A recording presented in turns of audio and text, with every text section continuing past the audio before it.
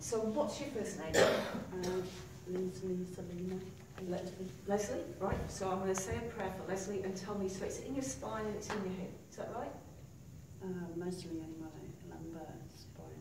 Lumbar spine. And so what are the symptoms for you? What do you feel? Um, mostly a lot of uh, heavy pain. Heavy pain. Yeah. Right, okay.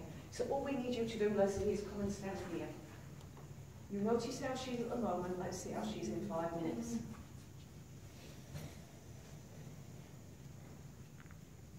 these are our bodies. They respond to our thoughts and our feelings.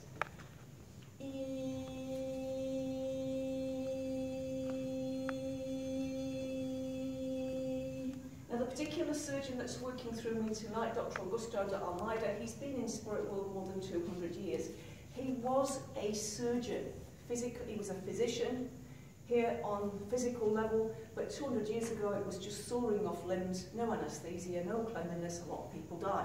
He got to spirit world and thought there must be a better way. He stayed in spirit world and with a team there has been developing sound and light technologies that allow us then to live in these physical bodies longer because when you awaken spiritually and you know how life needs to be lived and you've got your connection if you like with God and with your guides.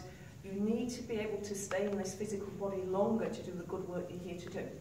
And so his life is dedicated to helping us here.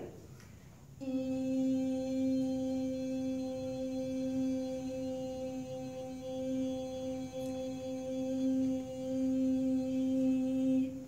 Lesley, just walk around a little bit, notice how that feels.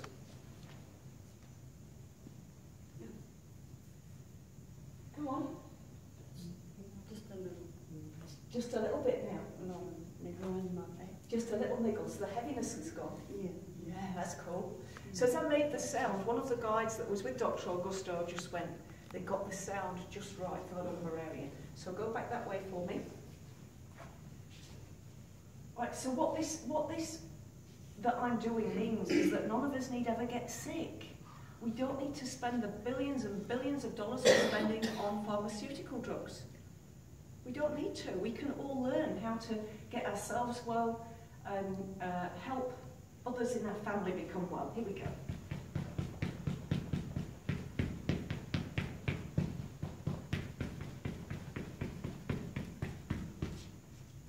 Nobody wants this in them. Right, Lesley, walk around again.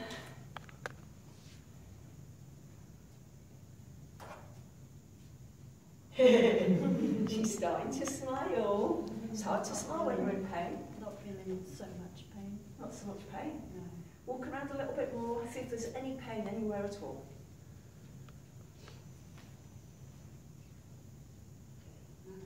No, it's all gone. Isn't that cool?